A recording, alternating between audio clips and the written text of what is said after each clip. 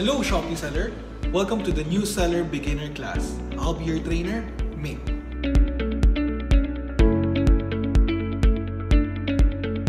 Hello Shopee sellers, good afternoon. So our topic for today is the product listing guide. So ituturo ko kung paano gumawa ng product using the desktop version ng Shopee. So before we start, I would like to let you know there's actually two ways to create a product sa Shopee. You can actually use the app on your phone And if you have a desktop or a laptop, you can feel free to use the Seller Center using the desktop version. So, ang ituturo ko is the desktop version. Okay, so before you begin, once you are at Seller Center, you have to look for the product tab. So, it's actually in My Products or sa ilalim ng My Products, there's actually Add New Product. So, you just simply click the button called Add a New Product.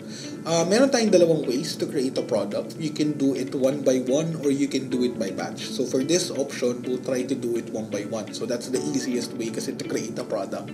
So, after you create a product, the first thing that the system will ask you is what's the name of the product that you're going to make. So, uh, three tips lang before we start creating a product name. You need to write an informative description.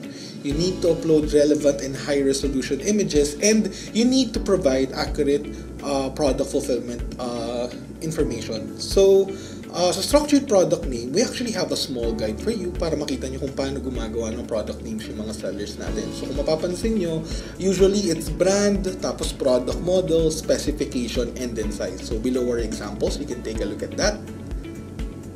And then, after a product name, you need to create a category. So kung mapapansin nyo guys, in e-commerce or specifically in Shopee, yung mga categories natin, they actually have what we call sub-levels.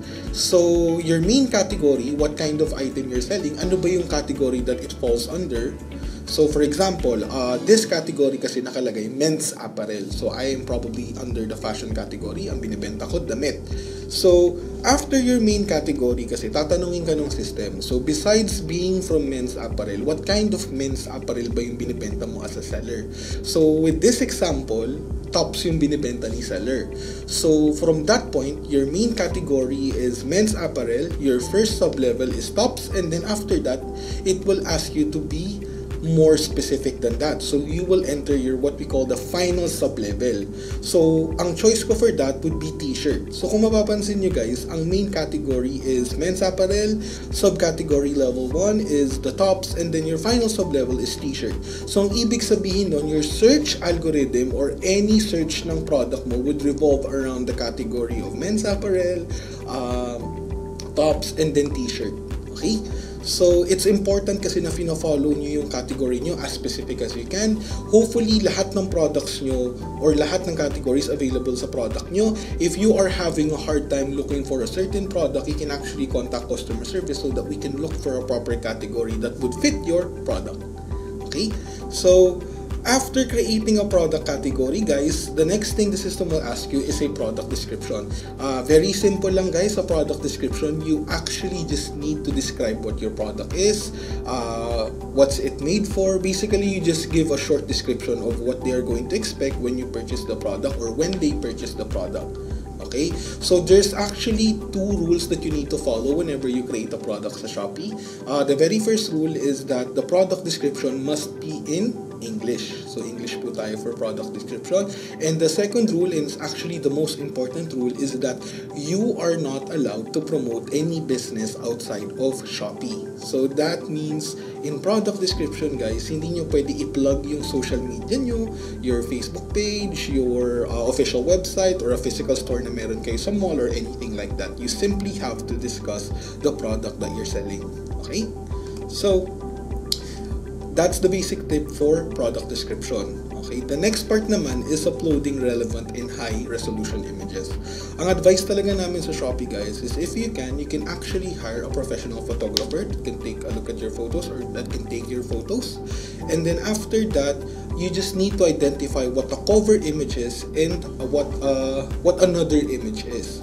So, we're very strict in Shopee in terms of what the cover image is. Uh, a cover image kasi guys is your best-selling photo. Usually, it's the one with a solid background. So, ito yung parang pinaka mabenta yung photo. Right? So, um, guidelines lang on the cover photo and your other images. all of your photos must be high definition and realistic. That's why we actually recommend you hire a professional photographer.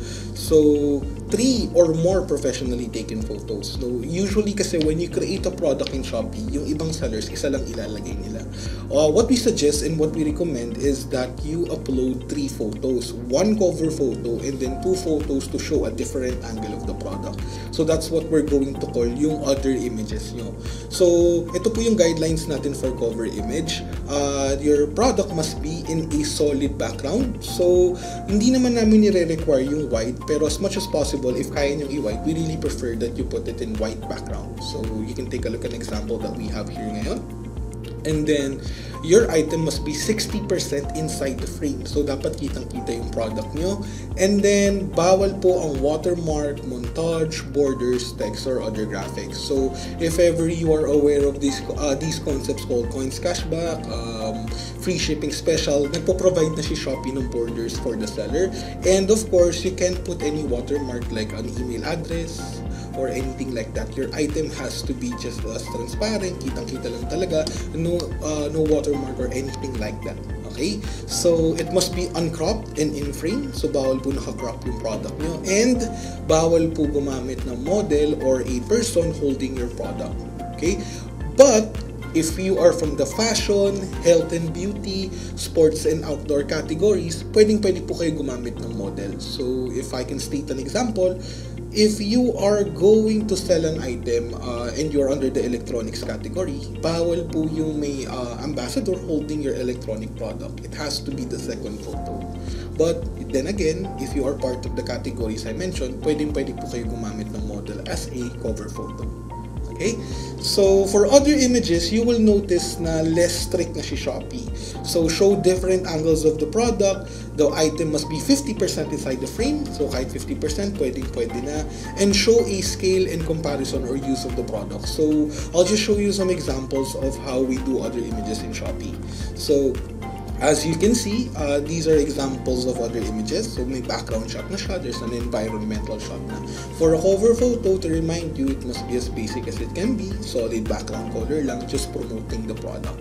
So I have here a list of the comprehensive product description requirements for our category. So hindi lahat to uh, will fall under your category. We have a lot of categories in Shopee, but I have here some examples. So if you want the whole list, it's actually in the Seller Education Hub if you want to take a look at it.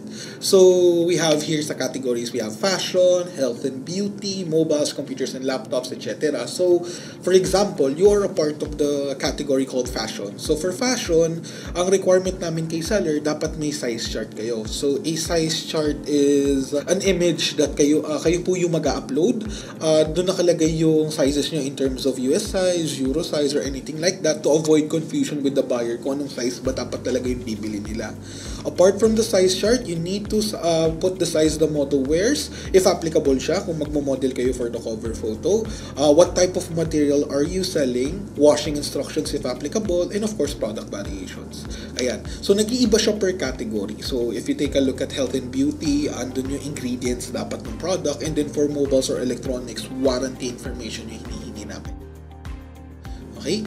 So, the next part that I'll be training is yung sales or yung price ng product mo tsaka yung stock count niya. So, to start with the price of your product, guys, uh, you have to know that once you upload the product sa Shopee or once you upload the price of the product, you can edit it anytime you want. So, be careful lang kasi whenever you upload an item sa Shopee at yun yung price na nilagay mo, it will now be a part of the historical price changing log ng product that you are selling.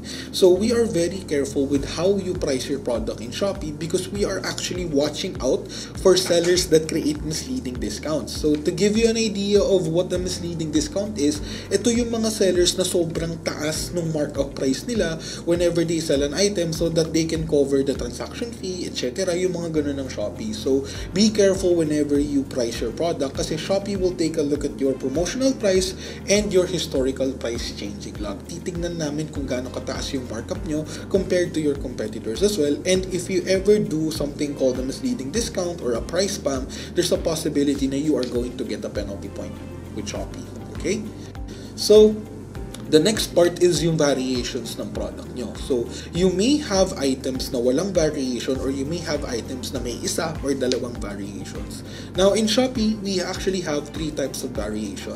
The first one is called a single variation. So most probably you're just going to offer a variation of colors. And then we also have two-tier variations. So two-tier variations naman, uh, it's a combination of colors and then sizes. And then we have this one called um, separate SKUs. So when uh, when you separate SKUs, you are selling an item kasi na, for example, you're selling water. Uh, it's basically all water, pero kung mapapansin mo, pag lumalaki yung size ng water ko, it's gonna be from 500 ml to 1 liter to 8 liters. Lumalaki siya na lumalaki. So instead of creating variations of just one single product, you can actually decide as a seller na i-separate mo na lang siya into different items or different SKUs. So if you plan on creating a variation, this is how it's going to look. So for variation 1, you actually put the name of the variation that you're going to create. And then after that, you can have at least 20 variation options. Okay? And then if you want to add another variation because you're going to try and do two-tier variation, you simply click the add button sa variation 2. And then once you're done with everything, you just need to fill out the price, stock, tsaka SKU code, and then you can apply to all if it's all the same prices. So yung SKU code, guys, uh, don't get confused. It's just for your fulfillment team or sa manpower or yung magpapack ng products nyo. So yung SKU code, very simple lang yan, guys. You can put A or anything like that, automatic na yan. Okay? So, it should look like this kapag sinunod nyo na yung aking advice. So you have the color and then you have the size as forms of variation. Okay? And then after that, this is what a final product would look like. So if you can take a look at my example, meron akong colors, meron akong sizes for the colors, and then the price is all the same. And then may stock out ako, and then after that, we have the SKU code para alam agad ng manpower team ko sa warehouse or sa location ko kung ano ibig sabihin ng A3. So for example, if I say A3, they already know that it's the large na black variant ng product ko. Okay? So the next part is shipping information. You can actually learn more about this uh, if you watch the video regarding fulfillment in Shopee so you can understand how shipping information is actually put. But to give you an idea, so shipping information, you just need to include the weight and the parcel size of your finished product. And when we mention finished product, yung product nyo po na pinak nyo na. So pag tinimbang nyo yung product at mineasure nyo ng measuring tape, you have to make sure na yung po yung product nyo that followed packaging guidelines na ng Shopee. So bibigat pa siya ng kaunti. And then from that point, you need to choose courier options for the buyer. So mamili ka ngayon kung anong courier yung gusto mong i-offer as a choice para kay buyer whenever they want to purchase your product. So the last part is what we call pre-order. So if you are actually aware, in Shopee, we offer what we call 2 days to ship. So ang ibig sabihin nun, the moment na mag-order sa inyo si buyer, meron lang po kayong dalawang araw or rather 2 days to ship out an item. Meron lang pong dalawang araw para pumunta si courier sa location mo at pipick upin yung product. Now, we understand naman na merong mga products si seller na hindi niya kaya i-ship out within 2 days to ship. Hence, we have pre-order listings. Pwede kayong mag-upload ng item sa Shopee and it wouldn't follow Shopee's 2 days to ship. It's actually gonna follow 7 to 30 days. So, yun po yung pre-order listings namin. Now, be careful whenever you create pre-ordered listings in Shopee because we have one specific rule. If magpi-pre-order kayo ng product, it has to be only 10% of the products that you offer in Shopee. So, ang ibig sabihin nun, if you have 100 products sa Shopee, that means 10 products lang po yung pwedeng i-pre-order ng 7 to 30 days. Okay?